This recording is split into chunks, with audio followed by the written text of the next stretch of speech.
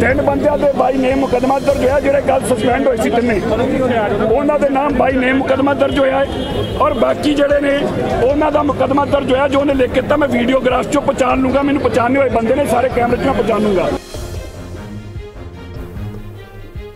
ਇਹ ਗੱਲ ਸਾਨੂੰ ਕਹੀ ਗਈ ਆ ਕਿ ਉਹਦੇ ਤੇ ਮੁਕਦਮਾ 307 ਨਹੀਂ ਦਰਜ ਹੋਊਗਾ।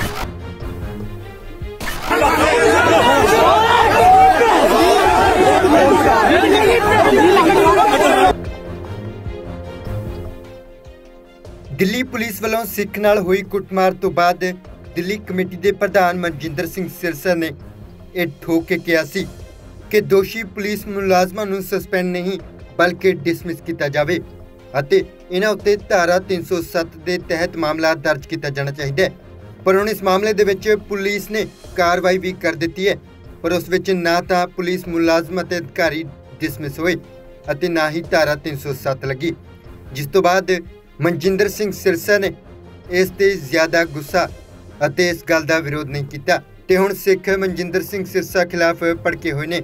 ਸਿੱਖਾਂ ਵੱਲੋਂ ਮਨਜਿੰਦਰ ਸਿੰਘ ਸਿਰਸਾ ਦਾ ਵਿਰੋਧ ਕੀਤਾ ਗਿਆ ਤੇ ਮਨਜਿੰਦਰ ਸਿੰਘ ਸਿਰਸਾ ਦੇ ਸਮਰਥਕਾਂ ਵੱਲੋਂ ਸਿਰਸਾ ਨੂੰ ਭੀੜ ਵਿੱਚੋਂ ਕਿਸੇ ਨਾ ਕਿਸੇ ਤਰ੍ਹਾਂ ਬਚਾਇਆ ਗਿਆ।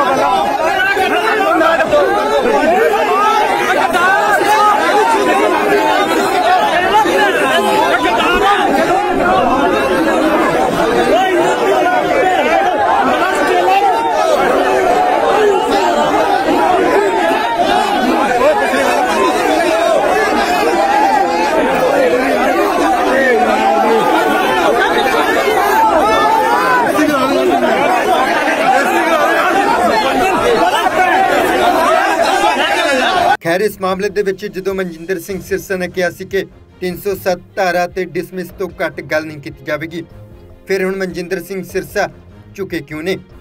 ਆਪਣੀ ਗੱਲ ਉੱਤੇ ਖੜੇ ਕਿਉਂ ਨਹੀਂ? ਇਹ ਤਾਂ ਹੁਣ ਸਿਰਸਾ ਹੀ ਜਾਣਦੇ ਨੇ, ਪਰ ਇੰਨਾ ਜ਼ਰੂਰ ਹੈ ਕਿ ਸਿਰਸਾ ਖਿਲਾਫ ਲੋਕਾਂ ਦਾ ਗੁੱਸਾ ਜ਼ਰੂਰ ਭੜਕਿਆ ਹੋਇਆ ਹੈ। ਬਿਊਰੋ ਰਿਪੋਰਟ, ਪੰਜਾਬੀ ਲੋਕ ਚੈਨਲ।